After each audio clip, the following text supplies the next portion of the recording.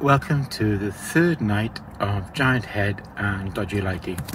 In other words, uh, Rob's uh, video log of renewal 2022, 25th anniversary.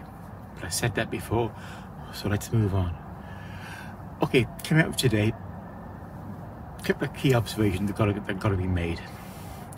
Uh, first of all, I seem to see a lot more children playing and really, really getting into the LARP. It just feels that there's been an explosion of, of youngsters. And their enthusiasm is awesome. Their uh, desire to just get into what's going on is awesome.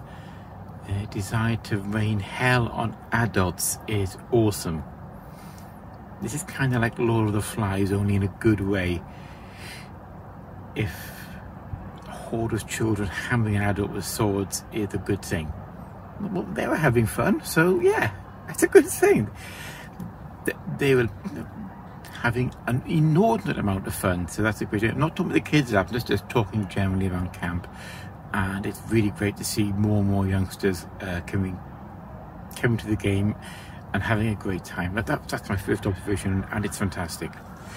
Um, uh, second one is this, this particular event seems to be uh, a little above average on its lethality and the consequences it can have on, on player thinking. It's possible in this particular in this event for players to have an, to gain an advantage in one part of the game by giving up their chance, part of their chance of surviving in a combat. That's a that's a really interesting measure. I'm not sure long-term view this, this particular this particular um, mechanism is going to be, but it's new and it's bringing out some interesting results.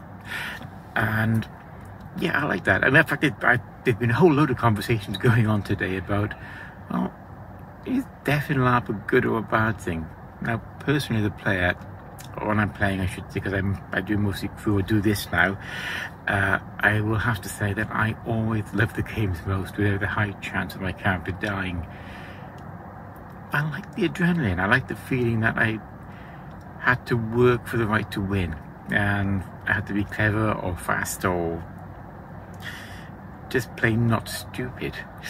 Um, but whatever the reason, and I, I, shouldn't say anything more than that because we don't really want to get into things that could be sort of uh, sort of setting a, a, bad standard or anything, but the chance of losing my character is something I really liked, and I still still kind I still like it. It's it brings in an element of risk. You, you're not just going through some motions because you're the hero and you're going to win. You're a person involved in something big, and you're taking real chances with your life, and it makes it more even in fantasy makes it more real for me. But there's been a lot of conversations around this going on, and I think that's great. Uh, so it's really the big, big ones. It's the level of children I've seen is is awesome, and some of the new mechanisms are really interesting. There's another another new mechanism I want to mention before I go, and that is there's been now change which is allowing players to be picked up and dropped in the right environment for for um, a situation, shall we say? Okay, okay, a skirmish fight. So people are now being dropped into battlefield circumstances for skirmishes rather than playing in the round around the camps and, uh, and the trails between the camps. It's really again leading to some really intense combat play. It'd be interesting to find out what the play, more the players think about this. And it's a, excuse me, but it's a change and it's an interesting one. So in this game, we're re really seeing some mix-ups of, of, of, mechanics. Uh, but everyone I'm speaking to seems to be having a good time.